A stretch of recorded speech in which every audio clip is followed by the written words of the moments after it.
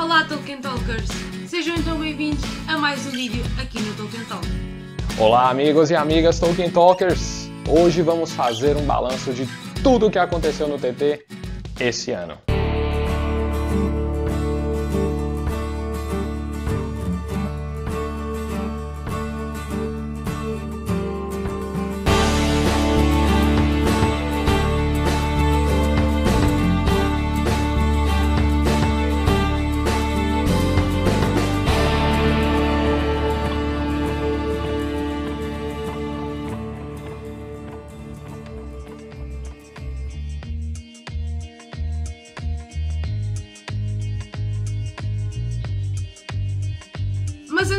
Relembrarmos todas as coisas boas que aconteceram aqui no canal ao longo deste ano, não se esqueçam de deixar já um grande gosto neste vídeo, pois isso ajuda muito a dar relevância aqui ao canal e se ainda não o fizeram, subscrevam ou inscrevam-se aqui no canal e ativem também o sininho das notificações para estarem sempre a par quando saírem vídeos novos. O vídeo de hoje vai para todos os Tolkien Talkers que nos acompanham fielmente todas as semanas, para nossos amigos e colaboradores, padrinhos e madrinhas e todos que torcem para o sucesso do TT. Inês, conta para os nossos espectadores o que vamos falar no vídeo de hoje. Podes deixar, Felipe. Hoje vamos fazer uma tour pelos principais temas abordados aqui no canal ao longo deste ano. E olha que ainda falámos de muita coisa.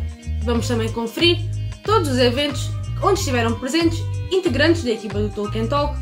Foram encontros, palestras, lançamentos de livros, também muita coisa. E por fim, vamos falar dos novos quadros do canal que entraram para a sua programação especial. Então eu já vou começar falando mês a mês os temas que foram objeto de estudo por aqui. Começamos o ano cheio de mistério, já com César falando sobre as criaturas tumulares no TT de número 200. Em seguida, nosso ilustre Alexandre Azevedo, o Xandinho de Eregion, nos apresentou toda a fellowship do TT. Ainda não estávamos lá para prestigiá-los com nosso carisma, mas faremos isso hoje e muito mais vezes em outros vídeos que virão.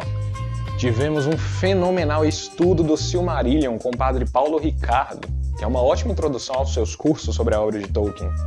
E estreamos também o nosso primeiro audiodrama do ano, sobre a queda de Fingolfin. Depois tivemos o Tolkien Toast 2018, onde celebramos o aniversário do professor, promovendo um grande brinde em escala mundial. Vários Tolkien Talkers enviaram suas fotos com seus copos e canecas na mão para comemorar. Em fevereiro, Serjão deu início a um grande projeto, que foi o Diário de Leitura de Beren Lúthien, onde ele iniciou a leitura e análise de cada ponto do livro.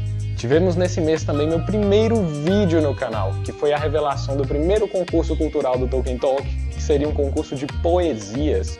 Nesse primeiro concurso, as obras seriam analisadas por mim e por Ronald Kirmsey. Olha a responsa! Nos estudos tivemos vários vídeos focados na pessoa do Aragorn, o nosso rei Elessar. Além de um dos meus TTs favoritos, o TT do Frasco de Galadriel.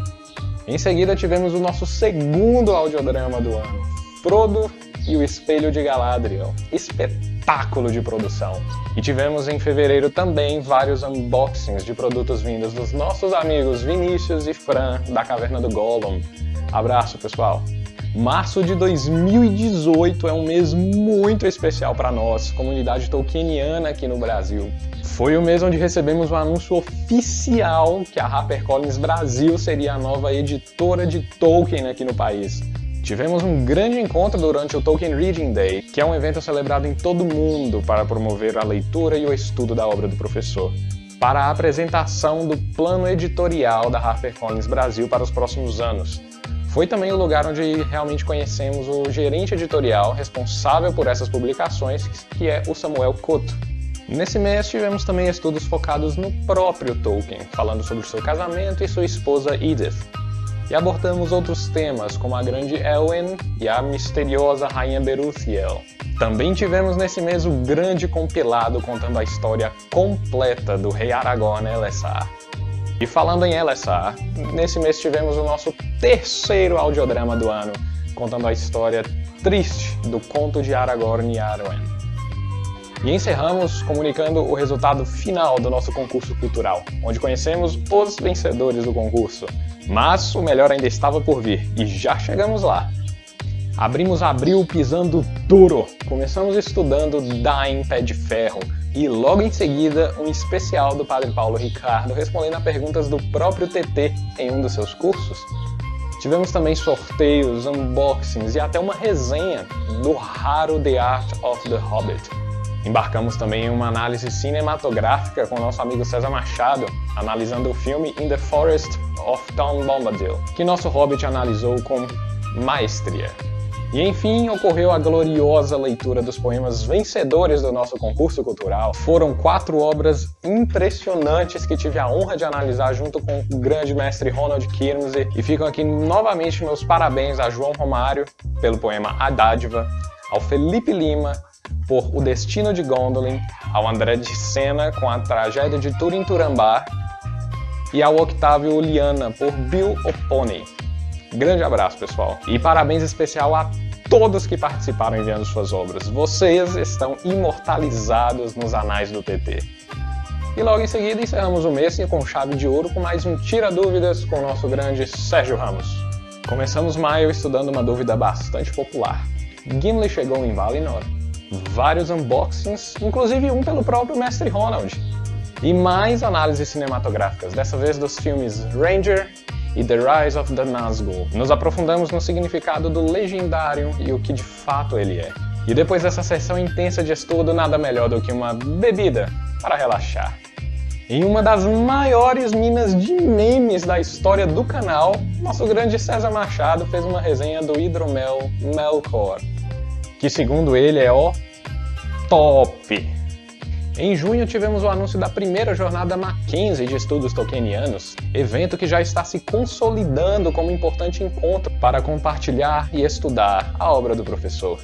Até dúvidas mais minuciosas, como o fato de Legolas era realmente loiro? Gandalf realmente morreu? Quais as origens históricas do Anel? Vídeo esse que foi apresentado pelo grande tolkienista Diego Clautal. Grande abraço, Diego. Além de duas grandes resenhas, conhecemos a primeira tapeçaria de Tolkien no mundo e recebemos duas grandes notícias. O TT estaria em Oxford para a exposição Tolkien The Maker of Middle-earth e o nosso ilustre mestre Ronald Kirmsey nos comunicou pessoalmente que seria o novo tradutor do Senhor dos Anéis, livro que está previsto para lançamento já em 2019. Rapaz, e ainda estamos no meio do ano. Conta pra gente o que rolou nesse segundo semestre, Inês. Começámos o mês de julho com um TT onde o Sérgio nos explica como começou toda esta guerra entre elfos e anões, que já lá vem desde a Primeira Era. Tivemos também um TT sobre a nova série da Amazon e se vai ou não abordar a juventude de Aragorn. E finalmente tivemos os tão esperados TTs sobre Fëanor, sobre a sua casa, as suas obras e principalmente sobre a Silmarillion. Tivemos também um belíssimo audiodrama, como sempre, pelo Ricardo Winter, do encontro de Bilbo com Smog. Durante este mês foram também feitas algumas resenhas, como por exemplo da paródia da Turma da Mónica, O Senhor dos Pincéis, do livro O Dom da Amizade, o primeiro livro relacionado com Tolkien, publicado pela HarperCollins Brasil, e também do jogo O Senhor dos Anéis, o confronto da Galápagos. Em agosto, tivemos um tenebroso TT onde nos são revelados os Mistérios do Exército das Sendas dos Mortos. Foram também feitas as resenhas da edição facsímil de O Hobbit para celebrar os 80 anos do seu lançamento, também da republicada biografia de Tolkien por John Carpenter, aí no Brasil, pela HarperCollins Brasil, e também a resenha da edição de colecionador do Maker of Middle-earth sobre a maior exposição de Tolkien que houve nas Bodleian Libraries. O Sérgio esteve presente nesta exposição e temos mais dois TTs sobre ela. Temos um pequeno trailer sobre a visita e temos um TT onde o, Sérgio, onde o Sérgio nos mostra os produtos que ele adquiriu na exposição. Em setembro, tivemos TTs sobre os Vanyar, a mais bela raça dos elfos, sobre os Lossot, os Homens das Neves de Foroshel e sobre a dádiva de Arwen. Tivemos a resenha do livro Tolkien, A Vida Ilustra a Obra, Biografia Ilustrada, um belo livro biográfico ilustrado pelo André Dequim Oliveira e baseado no texto de Ronald Gibbs.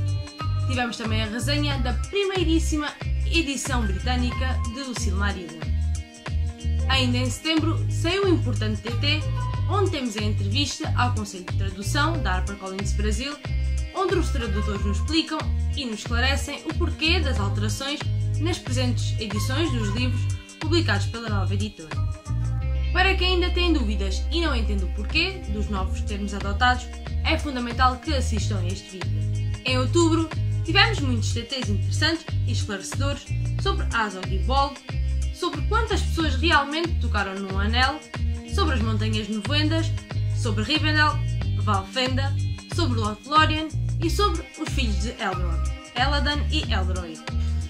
Tivemos as resenhas da edição brasileira da Queda de Gondolin e da box comemorativa de Lord of the Rings Millennium Edition, que foi lançada em 1999 para celebrar o fim do século XX, onde Tolkien foi eleito o autor do século. Abrimos o mês de novembro com um TT especial da arte de Ted Naismith sobre o Hobbit. Tivemos os CTs sobre a Segunda Batalha das Guerras de Beleriand, Dagor, Min e Gilead, a Batalha sobre as Estrelas, sobre o Beorn, os Beornings e os irmãos Fili e Kili. Com o lançamento da edição brasileira de Beren e Lúthien, o Sérgio voltou com o diário de leitura de Beren e Lúthien. Tivemos também a resenha da box americana com os 5 primeiros volumes da The History of Middle-earth. Em dezembro, tivemos as resenhas da edição brasileira de Beren e Lúthien, de The Road Goes Ever On e da edição em pop-up do Hobby. Temos também uma ótima entrevista do professor Eck da Mackenzie e na próxima sexta temos mais um audiodrama que ficou espetacular. Felipe, o Tolkien Talk esteve presente em alguns eventos e em alguns lançamentos aí no Brasil. Podes nos falar sobre eles? Claro, Inês. É pra já. Na nossa lista de eventos, tivemos no dia 8 de março o Tolkien Reading Day com a HarperCollins Brasil. No dia 19, tivemos o podcast do Bible Talk. No dia 20 de julho, tivemos o Dia do Amigo na Livraria Saraiva. No dia 26 de julho, tivemos a Feira Literária Internacional de Paraty, em Paraty. Em 9 de agosto, a Bienal do Livro, no painel da HarperCollins Brasil. No dia 11 de agosto, participamos num curso na USP e tivemos o segundo encontro do Tolkien Talk. Tivemos também o lançamento da biografia oficial de Tolkien, que é aquela escrita por Humphrey Carpenter, onde o Sérgio Ramos foi o copydesk desse livro. E já em A Queda de Gondolin, o Alexandre Azevedo fez o projeto gráfico do livro. Livro esse que teve seu evento de lançamento no dia 30 de agosto. E o TT esteve presente em cinco das nove cidades. Dia 27 de setembro, tivemos o Cappuccino Cast, nos dias 13 e 4 de outubro, nós tivemos a segunda jornada Mackenzie de estudos tolkienianos, onde estavam o César e o Ale. Para novembro, temos o Alexandre Azevedo, que fez o projeto gráfico também de Beren Luthien. E dia 10 de novembro, tivemos o evento nacional de lançamento de Beren Luthien, e o TT esteve presente em 11, 11 das 15 cidades participantes. E no dia 7 de dezembro estivemos na Bienal de Guarulhos. Inês, agora falta falar dos novos quadros do TT. Já que você é a chefe, gostaram do trocadilho? Hã? De um desses quadros novos, aproveita e fala aí pra gente sobre eles. É verdade, Felipe. É para mim uma alegria enorme estar à frente do TT Chef. Neste novo quadro mensal, que sai todos os meses, uh, numa sexta-feira, eu tenho trazido até agora receitas baseadas no livro A Cozinha do Senhor dos Anéis, que saiu aqui em Portugal. Mas o melhor disto tudo é que eu tento relacionar sempre estas receitas com passagens e certos, e certos dos livros e das obras de Tolkien. Deste modo, unimos de forma bem saborosa o mundo primário e o mundo secundário. Inês, eu confesso que sempre passo vontade quando eu assisto ao TT Chef. Me dá uma água na boca. Mas o que mais tivemos de novidade aqui no TT? Nós tivemos uma estreia muito especial. A Pala do Gás começou o projeto TT Kids. É um quadro muito divertido, voltado para os mais pequenos, onde ela até agora tem estado a contar a história do Hobbit e explica de forma bem lúdica as raças, os personagens e a história em si. Mas eu sei que há muita gente grande que não perde um episódio, não é verdade? O TT Kids vai para o ar todas as primeiras terças-feiras do mês, podendo ou não haver episódios complementares que saem na segunda-feira anterior vale a pena estar a acompanhar as histórias que a Paula está a contar por lá. Agora você me pegou no flagra. Apesar de eu não ser mais um pequeno, eu não perco um TT Kids. Mas além disso, tivemos outro apresentador especial, falando sobre C.S. Lewis. Conta como é isso. Exatamente. O nosso amigo Pedro Miklas está à frente do TT Lewis, explorando a vida, a obra e os pensamentos deste grande amigo de Tolkien. Esta playlist é muito importante porque expande os nossos conhecimentos para além do nosso querido Tolkien. Como sabemos, Lewis fazia parte dos Inklings, ou seja, ao estudarmos Lewis, ajuda-nos de certo modo a perceber também a mente de Tolkien. Como vocês podem ver, meus amigos e amigas, o TT cresceu muito nesse ano em conteúdo e participações, em inscritos e número de visualizações. E tudo isso é graças a vocês que nos acompanham. Mas para continuarmos crescendo, não esqueçam de curtir e compartilhar tudo com todos os seus amigos e conhecidos. Vocês também podem ajudar o TT uh, ah, comprando livros pela Amazon através dos nossos links e também ao tornarem-se padrinhos e madrinhas aqui do canal. Os links e as informações vão estar todos aqui embaixo na caixa de descrição. Um grande abraço, meus amigos e amigas, e nos vemos em 2019. Espero muito que tenham gostado. Vemo-nos no próximo vídeo e um grande beijinho.